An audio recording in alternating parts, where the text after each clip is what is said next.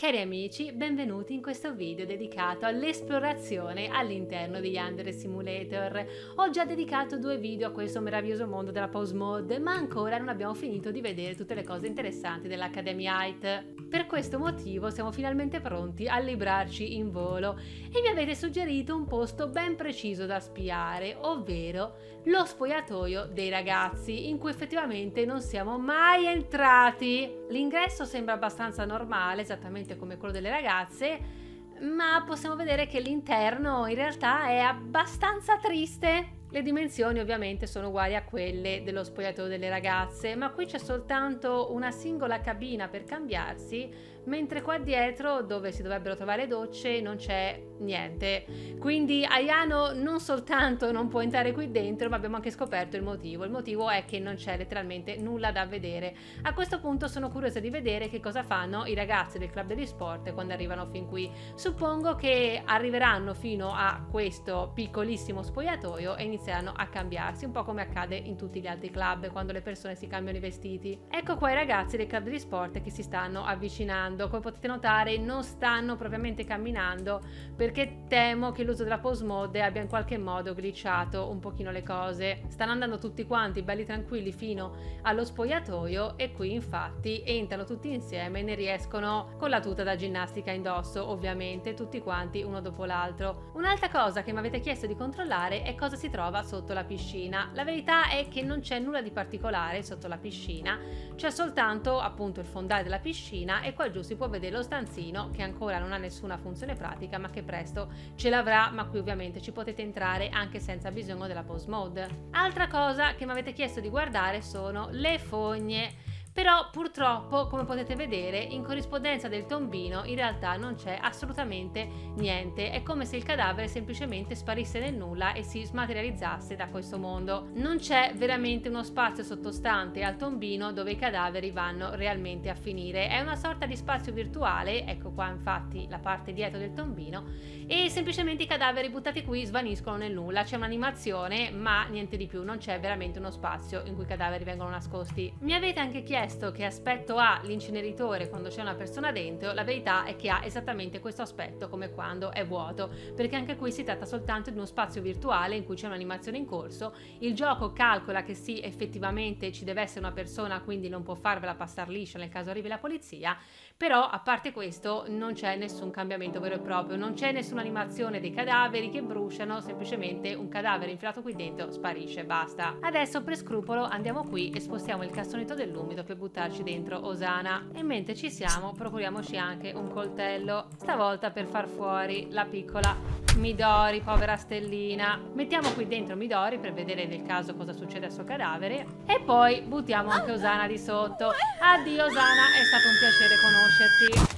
Adesso possiamo cominciare a volare con la telecamera per scoprire che cosa è successo. Ovviamente nel cassonetto in cui c'è Osana potrete intravedere il corpo appunto di Osana. E ecco qua i capelli, però è abbastanza incastrata nell'immondizia ed è il motivo per cui se ce ne mettete ancora lei finisce ah? per sparire del tutto. Oh, River è un po' preoccupata per la sua amica. Ah, ecco dov'è Osana, guardatela. In realtà si vede comparire un pochino da sotto perché c'è un po' di compenetrazione poligonale, mentre per quanto riguarda Midori, come avevo detto detto prima, non c'è più nessuno dentro l'inceneritore. Il cassonetto, visto che deve rimanere sempre aperto, fa vedere chiaramente i cadaveri al suo interno, ma la stessa cosa non vale per l'inceneritore, anche perché vi ricordo che prima di azionare l'inceneritore voi potete ficcarci anche tanti tanti tanti cadaveri, quindi non sarebbe opportuno che si vedessero tutti. Invece nel cassonetto ci può stare una sola persona alla volta. Ho appena deciso di riavviare la settimana, ma mi è venuto in mente che forse non ci sarebbe niente di male se io iniziassi a esplorare un pochino anche la mia stanza. Pertanto voliamo con la telecamera anche qua dentro, soltanto per scoprire che in realtà qui non c'è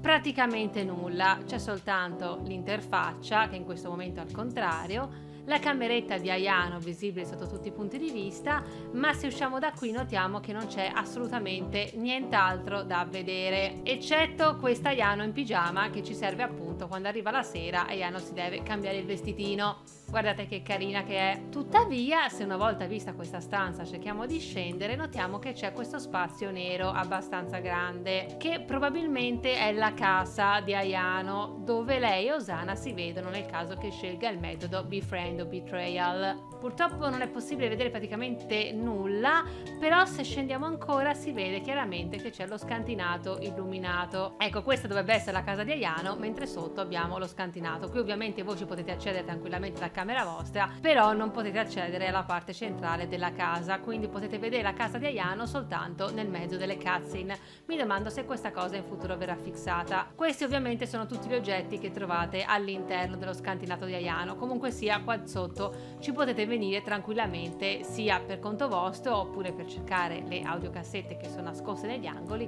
oppure quando avete qualcuno da torturare, che cosa bella. In realtà non avevo mai visto così bene nel dettaglio tutte le cose che si trovano qua sotto, però mi fa piacere vedere che Undead Devil le ha curate abbastanza nel dettaglio, nonostante non si vedano bene. Ecco, questo praticamente potrebbe essere un piccolo spaccato della casa di Ayano, però non si vede nient'altro. Però se io salgo, salgo, salgo e salgo ancora, vedo che c'è qualcosa lassù in altissimo nel cielo. Ed è Senpai, ragazzi. Quassù c'è Senpai tra tutte le cose che potevo trovare sopra la stanza di Ayano c'è Senpai che sta guardando languidamente da un lato a caso davanti a una siepe verde. Suppongo che questo serva per la fotografia che Ayano tiene in camera sua di Senpai. Ma che cosa romantica, piccola Ayano, che c'è un Senpai tipo angelo custode che dorme sopra casa tua. Adesso andiamo a cercare Osana. Offriamo il nostro aiuto a Osana per fare in modo che ci dia l'indirizzo del suo stalker. Così potremo andare a spiare anche casa sua eccoci qua in casa dello stalker. Adesso possiamo metterci a esplorare anche qua dentro. Guardate che bel cielo stellato che vediamo. Peccato però che non vediamo nient'altro. Ok, eccoci qua. Qui possiamo vedere una libreria con accanto delle fotografie. Questi sono tutti dettagli a cui magari non fate troppo caso quando siete in missione per Osana. Qui c'è una stanza ma è completamente vuota perché non è importante che ci sia qualcosa al suo interno. Tuttavia qui vediamo la camera della sorellina del nostro stalker. Ma guardate quanto è carina! Non l'avevo mai vista in faccia, mi ricorda un pochino Osana. In realtà la stanza di questa ragazza come potete notare è molto semplice perché anche in questo caso non viene visto un bel niente da Ayano. Qui per terra c'è una sorta di pacchetto di patatine che serve ad Ayano per fare rumore nel caso cercasse di camminare verso la ragazza. La ragazza è qui che parla al telefono in attesa che Ayano si avvicini per ascoltare quello che dice, ma il resto del mobilio della sua stanza, nonostante la stanza sia grande, è piuttosto semplice. Abbiamo soltanto un armadio, un cassettone, un letto, un piccolo vanity senza la sedia e quella che suppongo sia una scrivania con un cestino, la finestra e un orologino da parete che segna le 3. Se proseguiamo con l'esplorazione della casa, vediamo che ci sono altre stanze completamente vuote perché non servono appunto ai fini della storia, un'altra stanza qui che anche questa non serve a niente, poi possiamo scendere giù per le scale. Ci sono diversi quadri in giro, uguali a quelli che abbiamo visto prima. Qui vediamo una ragazza che somiglia molto a uno dei demoni che si trovano nella dimensione dei demoni e qui ci sono ovviamente altre stanze vuote. Andiamo a cercare il padre del nostro stalker. Eccolo qua che si sta facendo i fatti suoi. Di recente il padre dello stalker ha cambiato il proprio abbigliamento, però questa è una versione leggermente più vecchia dell'ultima rilasciata il primo di maggio. Ah, ecco cosa sta sistemando quest'uomo una cassetta degli attrezzi, ora capisco tante cose, lui si mette qui con gli attrezzi a trafficare per vedere se il televisore ricomincia a funzionare, ah, ora capisco, tutto ha molto più senso, guardate che bei dettagli che ci sono. E qui ci sono anche delle altre fotografie che rappresentano l'Academy Height. In particolare qui abbiamo anche una collezione di manga, oserei dire, non so, fatemi sapere nei commenti se vi sembra un easter egg di qualche cosa in particolare. Qui abbiamo anche le scarpe di tutti i membri della famiglia, anche qui ci sono delle patatine in modo da impedire a Diano di non farsi sentire se dovesse camminare in questa zona. E poi se proseguiamo di qua vediamo anche la cucina con la mamma che se vedete la mamma somiglia moltissimo alla figlia più o meno hanno la stessa faccia lei sta leggendo una lista della spesa, una lista di ingredienti per fare la torta e questa è la cucina. Molto semplice anche questa, abbiamo un frigorifero, dei mobili molto semplici e un tavolino con quattro sedie, una per ogni membro della famiglia. E a proposito ovviamente di membri della famiglia, qua giù abbiamo la stanza del maniaco e adesso possiamo finalmente spiarla un po' più nel dettaglio questa stanza, ho già paura di quello che troveremo. Qui abbiamo tutta la collezione di Magical Girl Pretty Miyuki con tanto di direi artbook. Anche qua sotto abbiamo una discreta collezione di manga e forse anche qualche cofanetto degli anime. Comunque ci sono veramente, veramente tanti volumi. Qui ce ne sono anche degli altri. Abbiamo scatole, scatole, scatole. Qui per terra abbiamo anche un po' di schifezze che servono per far sentire i passi di chi si avvicina. Nel caso particolare di Ayano abbiamo qui delle lattine vuote e anche delle buste di patatine. Il letto e ovviamente nel letto abbiamo qualcosa che avrei preferito non vedere, ovvero un cuscino a dimensione umana di Magical Girl Petty Miyuki. Sono molto contenta che sia stato censurato, onestamente. Che cosa sono queste bottiglie? Spero che siano delle semplici bottiglie d'acqua, non qualcosa che gli serve per diciamo usare il cuscino ma questa è un'altra storia ok fatto sta che lui dorme con il cuscino ovviamente qui abbiamo il gattino poverino intrappolato di Osana anche se ha il vecchio modello di gattino e non quello nuovo e qui abbiamo un miliardo di action figure molto simili a quelle che si trovano anche nel club di gaming. Questo è il computer dello stalker. Sì penso siano bottiglie d'acqua quelle poi abbiamo del caffè e lo sfondo del computer ovviamente è Magical Girl Petty Miyuki e qui possiamo ammirare lo stalker in tutto il suo splendore. Con tutte le illustrazioni di Magical Girl Petty Miyuki attaccate alla parete. Da quanto ne so c'è stato un discreto lavoro artistico per riuscire a fare questa cosa e farla bene, perché comunque ci è voluto del tempo ad avere tutti questi disegni. Se ci fate caso sono tutti di uno stile diverso e sono stati interpellati parecchi artisti differenti per poter fare questa cosa, ma devo dire che il risultato finale è veramente bello. Un po' mi dispiace che il giocatore non abbia il tempo di godersi un tubo di quello che vede perché deve letteralmente arrivare qui e sbrigarsi e levarsi di torno perché altrimenti sto maniaco lo aggredisce, comunque lo aggredirà lo stesso e dovrà pure batterlo prima di riuscire a portarsi via il gattino. Chissà, magari anche Yandere Dev prima o poi inserirà qualcosa che sia una specie di creative mode che permette ai giocatori di guardarsi la mappa senza necessariamente andare di fretta. Questo è il giardino della famiglia Stalker, perché alla fine sono tutti un po' degli stalker da queste parti. Questa zona ovviamente la potete esplorare mentre state cercando una via d'accesso alla casa, però comunque è carino vederla anche così in maniera più tranquilla e più illuminata. Ci sono tanti fiori. Se guardate la casa dall'alto noterete che è l'unica un po' diversa e che è stata fatta appositamente con lo scopo di spiccare. Le altre case tendono a essere tutte più o meno uguali tra di loro. Chiaramente dentro non c'è assolutamente nulla perché sono case che servono soltanto come segnaposti o comunque per far vedere che non è tutto vuoto.